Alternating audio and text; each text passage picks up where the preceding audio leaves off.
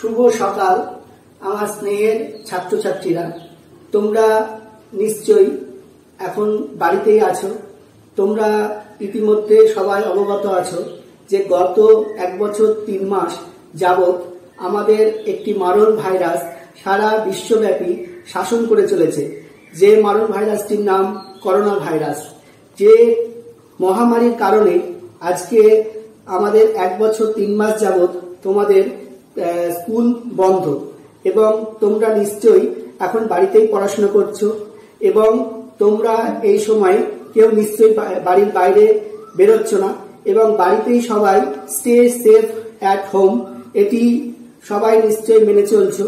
এবং বাড়িতে, বাড়ির বাইরে যখন বেরোবে, তখন মাস্ক এবং স্যানিটাইজার এবং বাড়িতে বাড়িতে যখন তোমরা সবাই বারে বারে সাবান দিয়ে হাতটা ধোবে। তো এই মারণ ভাইরাসের সময়, অতিমারির সময়ও তোমরা যাতে বাড়িতে বসেই পড়াশোনা চালিয়ে যেতে পারো, তার জন্য আমরা তৃণমূল প্রাথমিক শিক্ষক সমিতির নদিয়া জেলার উদ্যোগে সারা জেলাব্যাপী, সর্বোপরি জেলার বাইরেও আমাদের অনলাইন মোডে ই পাঠশালা চালু হয়েছে, যেটি ইতিমধ্যেই তোমাদের বিভিন্ন শিক্ষক শিক্ষিকারা তোমাদের বিভিন্ন বিষয়ের ওপর পাঠ রেখেছেন। তো আজকে আমি নদিয়া জেলার তেহট্ট ওয়ান সার্কেলের কুলগাছি প্রাথমিক বিদ্যালয়ের শিক্ষক গোপীনাথ চ্যাটার্জি আজকে তোমাদের চতুর্থ শ্রেণির আমার গণিত বইয়ের বিরানব্বই দ্বিতীয় পার্বিক মূল্যায়নের যে বিরানব্বই পৃষ্ঠার দাদুর বাড়ি যাই এই চ্যাপ্টারটি সম্পর্কে আমরা আজকে শিখব। যে পাঠের শুরুতেই তোমাদের, তোমরা দেখতে পাচ্ছ, এটি নিশ্চয়ই সবারই বাড়িতেই যে দেয়ালে টাঙানো থাকে, সেটি অবশ্যই বুঝতে পারছ, এটি একটি ঘড়ি। যে ঘড়িটি আমাদের সব সময় খুব প্রয়োজনীয় একটা জিনিস, বিশেষ করে স্কুলে যখন আমরা প্রস্তুতি নিই, ঠিক সকাল সাড়ে নটা বাজলেই তোমাদের বাবা বা মা স্মরণ করিয়ে দেন যে স্কুলে যাওয়ার প্রস্তুতি নেওয়ার জন্য তোমাদের সবাই সময়টা সম্পর্কে স্মরণ করিয়ে দেন। তা আজকে আমরা এই সময় সম্পর্কে একটি ধারণা তৈরি করার চেষ্টা করব। তোমরা সবাই দেয়াল ঘড়ি দেখলে। তো সেই দেয়াল ঘড়ি আবার অনেকে সবারই হাতে একটি করে প্রায় হাত ঘড়ি থাকে, তাই না? আমরা বিভিন্ন সময়ে এই দেয়াল ঘড়ি ও হাত ঘড়ি ছাড়া আমরা এক মুহূর্ত চলতে পারি না। কারণ এটা, এই ঘড়িগুলো আমাদেরকে সময় সম্পর্কে স্মরণ করিয়ে দেয়। আমাদের স্মরণ করিয়ে দেয় যে দশটা পঞ্চাশ বাজলেই আমাদের স্কুলের ঘন্টাটি বাজবে এবং প্রেয়ার লাইনের সময় প্রায়, সময় প্রেয়ার লাইন শুরু হয়ে যাবে। তো আসো, আমরা সেই সময় সম্পর্কে ধারণা তৈরি করতে হলে আগে আমাদের ঘণ্টা, মিনিট, সেকেন্ড এবং দিন, বছর, মাস এই এই সম্বন্ধে আমাদের ভালো ধারণা থাকা প্রয়োজন। তা তোমরা সবাই আমার গণিত বইয়ের বিরানব্বই পৃষ্ঠা আমার দাদুর বাড়ি যাই, এই পৃষ্ঠাটি বের করে সবাই একটু দেখো। তো এখানে দেখো একটি মেয়ের ছবি আছে, তাই না? দেখো এখানে, এখানেও আছে, এখানে একটি মেয়ের ছবি আছে। যে আমরা সবাই আমরা মামার বাড়ি যে দাদুর বাড়ি যাই, মামার বাড়িতে গেলেই দাদুর বাড়ি আমরা প্রায়শই যাই। তা এই মেয়েটিরও দাদুর বাড়ি হচ্ছে আটপুরে। যে আটপুরে এবং মেয়েটির বাড়ি হচ্ছে আলমপুরে। যে আলমপুর থেকে আটপুরে যেতে হলে সেখানে হাওড়া স্টেশন হয়ে যেতে হয়। তা আসো, আমরা একটু বইটা একটু পড়ি। যে আজ আমরা সবাই মিলে আটপুরে দাদুর বাড়ি যাব, আমার বাড়ি আলমপুরে। বাড়ি থেকে হাওড়া স্টেশনে পৌঁছাতে দু ঘণ্টা সময় লাগল। তো সে দাদুর বাড়ি যেতে আলমপুর থেকে হাওড়া স্টেশনে পৌঁছালো দু ঘন্টায়। তাহলে আসো, আমরা দেখি যে দু ঘণ্টা মানে কত মিনিট। তো আমরা সবাই জানি যে এক ঘণ্টা মানে ষাট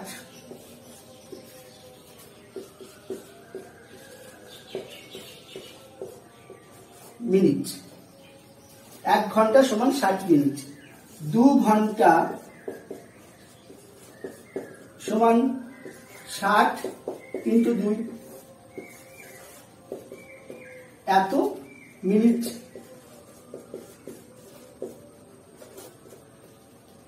তাহলে ষাটকে দুই দিয়ে গুণ করলে দুয়ে শূন্য শূন্য ছয় দোকানে বারো। একশো কুড়ি মিনিট। তাহলে হাওড়া স্টেশনে আসতে সময় লাগল দু ঘণ্টা বা একশো কুড়ি মিনিট। তাহলে আমরা বুঝতে পারলাম যে এক ঘণ্টা সমান ষাট মিনিট, দু ঘণ্টা সমান একশো কুড়ি মিনিট। ষাটকে দুই দিয়ে গুণ করলে একশো কুড়ি মিনিট পাওয়া যায়। তো আমরা সেখান থেকে আমরা যে জানো তোমরা যে ট্রেনের নাম, বিভিন্ন ট্রেনের বিভিন্ন নাম থাকে। তা সেখান থেকে হরিপাল লোকালে উঠল। হাওড়া থেকে সেখান থেকে আটপুর পৌঁছাতে তাদের দু ঘণ্টা তিরিশ মিনিট সময় লাগল। তাহলে আমরা আসো দেখি যে দু ঘণ্টা তিরিশ মিনিট মানে কত মিনিট হয়, আমরা সেটা দেখে নিই। তাহলে দু ঘণ্টা তিরিশ মিনিট, দু ঘণ্টা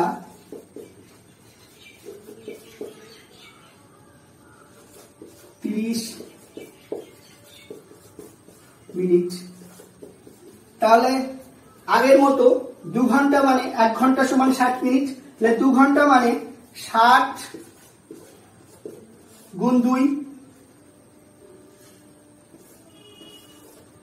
এত মিনিট। এর সঙ্গে যোগ হচ্ছে তিরিশ মিনিট।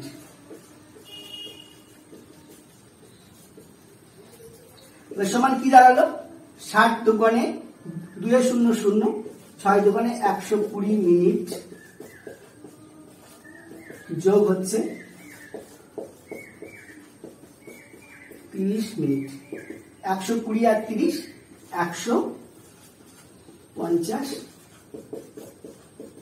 মিনিট। তাহলে আমাদের হাওড়া থেকে আটপুর পৌঁছাতে সময় লাগল কত? দু ঘণ্টা তিরিশ মিনিট বা একশো পঞ্চাশ মিনিট। আচ্ছা এইবার আসো, আমরা দেখি, এবার তারা ওখানে গিয়ে আরও দুই দিন ছিল। মানে তারা দাদুর বাড়িতে গিয়ে প্রায় দুই দিন ছিল। তাহলে এবার আসো, আমরা দেখি যে দুই দিন মানে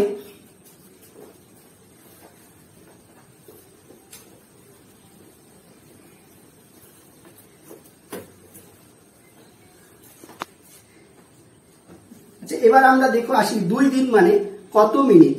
আচ্ছা তোমরা জানো যে সবাই ভোরবেলা বা সকালবেলা হলে সূর্য পূর্ব দিকে উদিত হয় এবং রাত্রে আবার আবার সন্ধেবেলায় সূর্য পশ্চিম দিকে উদিত হয়। আবার ঠিক পরের দিন ভোরবেলায় সূর্য ওঠে। তা এই সময়, এই প্রথম দিন প্রথমে সূর্য উঠল, আবার অস্ত গেল, আবার পরের দিন সূর্য উঠল। তা এই, এটাকে বলে তোমরা সবাই জানো যে তোমরা ভূগোল বইয়ে পড়েছো, এটাকে বলে একদিন তাই তো? তা একদিন মানে সেটা হচ্ছে চব্বিশ ঘণ্টা। একদিন সমান চব্বিশ ঘণ্টা। তাহলে দুই দিন সমান, তাহলে নিশ্চয়ই চব্বিশ গুণ দুই, এত ঘণ্টা। চার দোকানে আট, দুই দোকানে চার আটচল্লিশ ঘণ্টা। দুই দিন সমান কি পেলাম? আটচল্লিশ ঘণ্টা। তাহলে এইবার আসো, আমরা দেখি যে আটচল্লিশ ঘণ্টা সমান কত মিনিট? তাহলে আবার আমরা আগের মতো কি পেলাম? এক ঘণ্টা সমান ষাট মিনিট আটচল্লিশ ঘণ্টা সমান আটচল্লিশ ষাট ইন্টু আটচল্লিশ। এত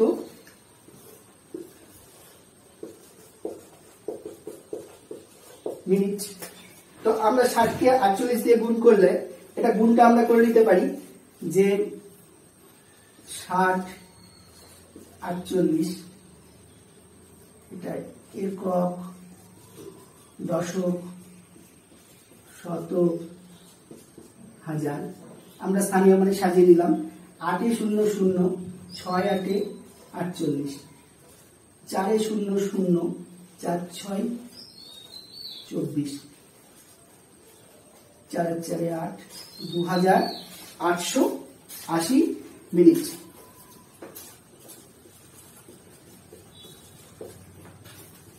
তাহলে আমরা কত পেলাম? আটচল্লিশ ঘণ্টা সমান দু হাজার আটশো আশি মিনিট। আচ্ছা এতক্ষণ আমরা দেখলাম যে ঘণ্টা থেকে কীভাবে মিনিট বার করা যায়। আচ্ছা এইবার আমরা উল্টোটা দেখব যে মিনিট থেকে কীভাবে ঘন্টায় বার করা যায়। আচ্ছা এবার আসো দেখি বইটা। যে এবার বলছে, বাড়ি ফেরার সময় দাদুর বাড়ি থেকে হাওড়ায় পৌঁছাতে একশো আশি মিনিট সময় লাগল। তাহলে একশো আশি মিনিট সময় লাগল বাড়ি থেকে হাওড়া পৌঁছাতে। তাহলে এবার আমরা আসো দেখি যে একশো আশি মিনিট সমান কত ঘণ্টা? তো আমরা আগে দেখেছিলাম যে এক ঘণ্টা সমান ষাট মিনিট। তাহলে এবার বলতে পারি যে ষাট মিনিট সমান এক ঘণ্টা। তাহলে একশো আশি মিনিট সমান, নিশ্চয়ই আমি একশো আশিকে ষাট দিয়ে ভাগ করলেই আমি ঘন্টাটা পাবো। তাহলে আমরা একশো আশিকে ষাট দিয়ে ভাগ করব। এত ঘণ্টা। একশো আশিকে ষাট দিয়ে তাহলে ভাগ করি আসুন। তাহলে একশো আশি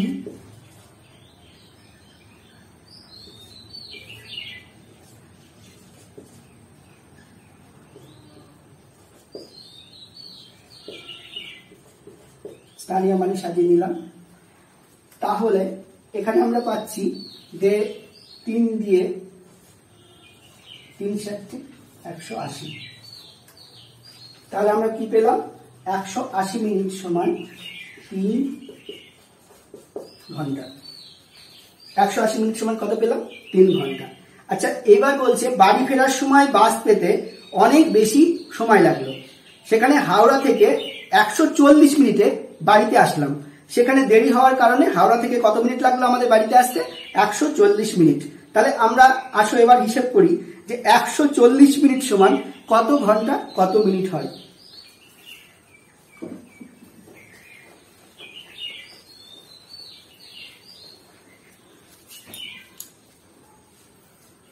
একশো চল্লিশ মিনিট। তাহলে আবার আগের মতো ষাট মিনিট সমান এক ঘণ্টা। তাহলে একশো চল্লিশ মিনিট সমান একশো চল্লিশ বা ষাট। এত ঘণ্টা। প্লাস আমরা একশো চল্লিশকে ষাট দিয়ে ভাগ করি।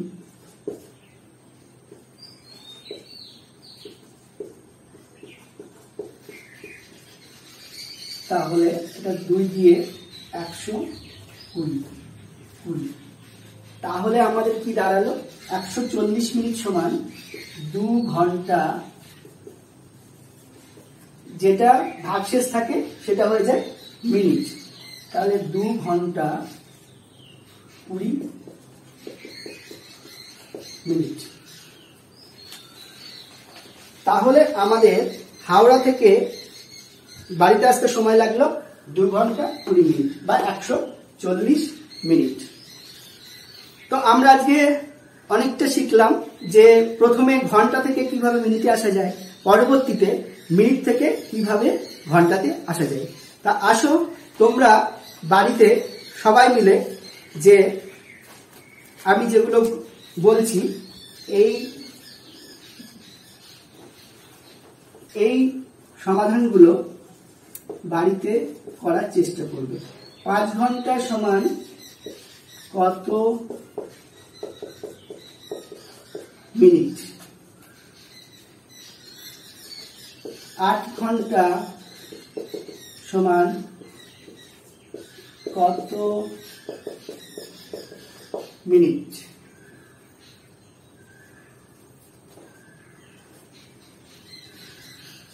পাঁচশো আশি মিনিট সমান কত ঘণ্টা? কত মিনিট? ছ ঘণ্টা চল্লিশ মিনিট সমান কত মিনিট তাহলে তোমাদের, তোমরা বাড়িতে এই সমাধানগুলো সবাই বাড়িতে করার চেষ্টা করবে খাতায় এবং পরের দিন কিন্তু আমাকে অতি অবশ্যই এই সমাধানগুলো করে দেখাবে। তোমরা বাড়িতে এগুলো অবশ্যই চেষ্টা করবে।